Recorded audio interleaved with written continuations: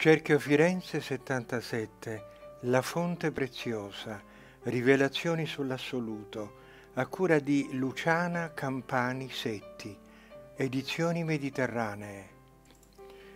Comprendo la vostra difficoltà ad afferrare questi concetti.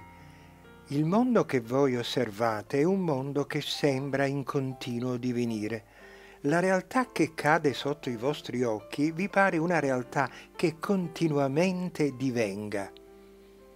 Ma dovete tenere presente che questo è quello che appare, non quello che è.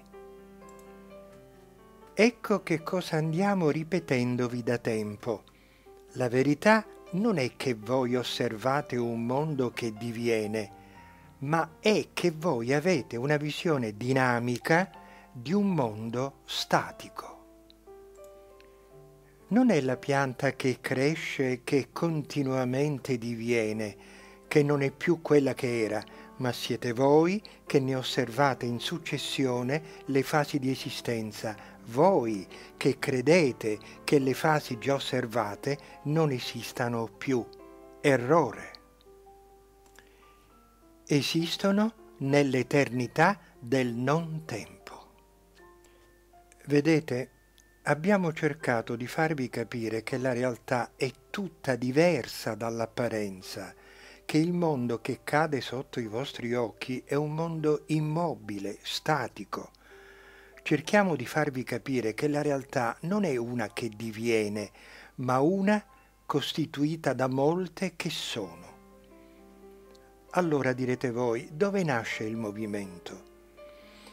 L'illusione del movimento è originata dalla natura del sentire individuale, ma per comprendere ciò dobbiamo renderci conto una volta per tutte che noi non siamo creati nel senso generalmente accettato, cioè che Dio ci abbia tratto da se stesso in se stesso ad un dato punto o momento della sua esistenza senza tempo.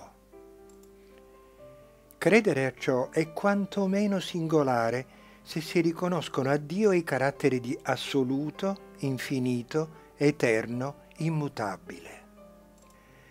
Dunque noi esistiamo in Lui in eterno e possiamo considerarci suoi figli solo nel senso che facciamo parte di Lui, della sua natura, che siamo una conseguenza della sua esistenza Solo in questi termini noi discendiamo da Lui. Egli è la realtà assoluta.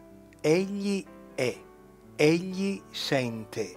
Egli è sentire assoluto.